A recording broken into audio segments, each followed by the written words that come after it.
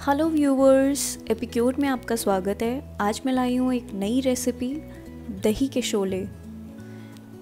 आइए देखते हैं इसके इंग्रेडिएंट्स क्या हैं और किस तरह से इसको बनाएँगे। इसको बनाने के लिए हमें चाहिए bread slices one cup hung curd one fourth cup onion one fourth cup tomato one fourth cup capsicum two tablespoon flour maida one teaspoon black pepper and salt to taste अब हम लेंगे टू टेबल स्पून मैदा। उसमें बहुत थोड़ा सा पानी add करेंगे ताकि एक थिक पेस्ट बैटर तैयार हो जाए इस तरह से। इसकी कंसिस्टेंसी बहुत ज़्यादा थिक ना हो और बहुत ज़्यादा रनी ना हो।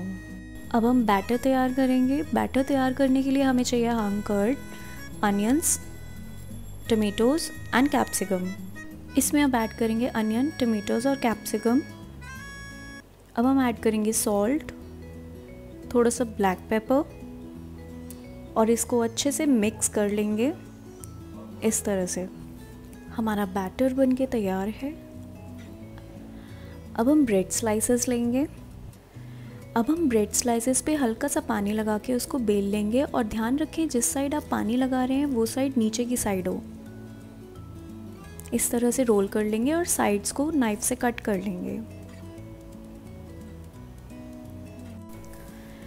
अब हम लेंगे एक पॉलीथीन हमारा मैदे का घोल।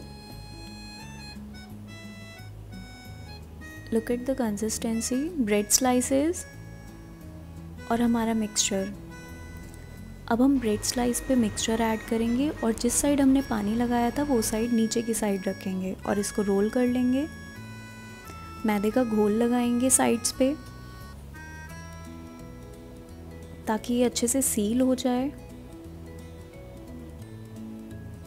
और इसको रोल कर लेंगे टाइट से पॉलीथीन के साथ। इसको हम ऑपोजिट डायरेक्शंस में टाइट से प्रेस करेंगे इस तरह से। और हमारे रोल्स बन के तैयार हैं। अब हम इन्हें फ्राई करेंगे। इसको डीप फ्राई करने के बाद अब हम स्लाइसेस में कट कर लेंगे और हमारे दही के शोले बन के तैयार हैं। सर्व करिए इसको मिंट चटनी के साथ अनियंस के साथ। Thank you for watching. For more updates, don't forget to like, subscribe and share.